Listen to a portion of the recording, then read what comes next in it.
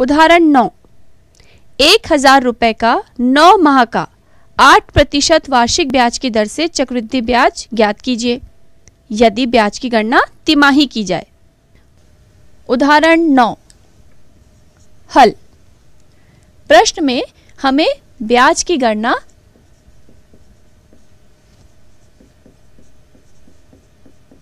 तिमाही करने के लिए कहा गया है। तिमाही है।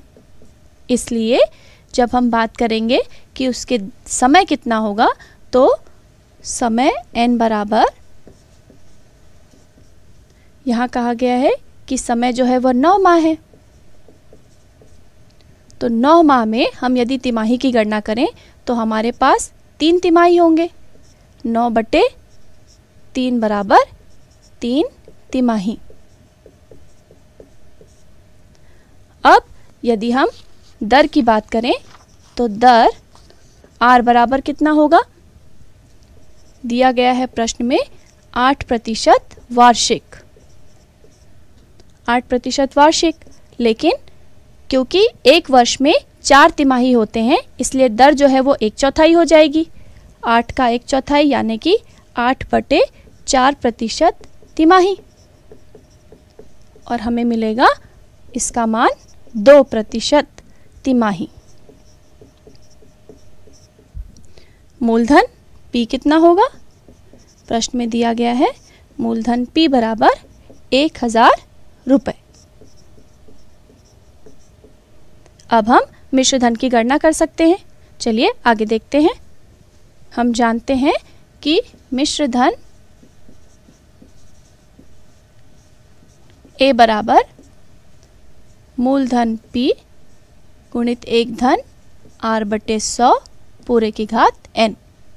सभी का मान रख लें तो मिश्र धन ए बराबर पी मूलधन हमारे पास दिया हुआ है, एक हज़ार रुपये एक धन आर का मान तिमाही गणना के कारण हमने उसका मान निकाला है, दो प्रतिशत तिमाही, इसलिए दो बटे सौ और समय जो है वो तीन तिमाही, इसलिए एन का मान होगा तीन।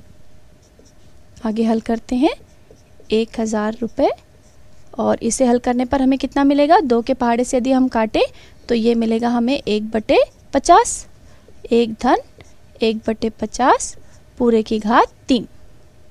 आगे हल कर लें तो एक हज़ार रुपये और एक धन, एक बटे पचास को हम लिखेंगे, इक्यावन बटे पचास, पूरे की घात तीन।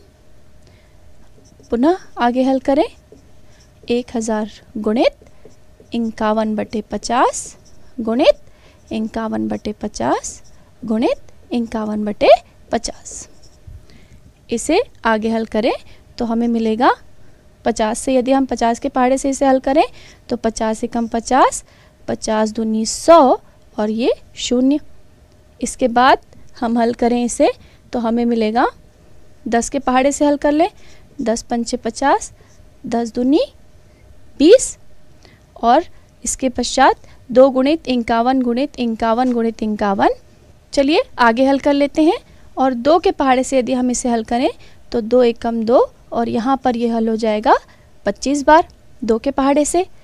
अब हम इसे सरलतम रूप में लिखेंगे इक्यावन गुणित इक्यावन गुणित इक्यावन बटे हर में हमें प्राप्त होगा पाँच गुणित पच्चीस। इस पूरे को हल करके हमें मिलेगा एक लाख बत्तीस हज़ार छः सौ इक्यावन बटे एक सौ पच्चीस। इसे हल करने पर हमें प्राप्त होगा एक हज़ार इकसठ दशमलव दो शून्य रुपये आगे हल करते हैं। हमें मिश्र धन बराबर प्राप्त हुआ है। मिश्र धन ए बराबर एक हज़ार इकसठ दशमलव दो शून्य रुपये इसलिए अब हम चक्रवृद्धि ब्याज ज्ञात कर सकते हैं। तो इसलिए चक्रवृद्धि ब्याज बराबर, चक्रवृद्धि ब्याज बराबर होगा मिश्र धन, ऋण मूलधन मिश्र धन का मान एक हज़ार इकसठ दशमलव दो शून्य, ऋण मूलधन है हमारे पास एक हज़ार रुपये तो हमें प्राप्त होगा इकसठ दशमलव दो शून्य रुपये चक्रवृद्धि ब्याज के रूप में। इस प्रकार प्रश्न हल हुआ।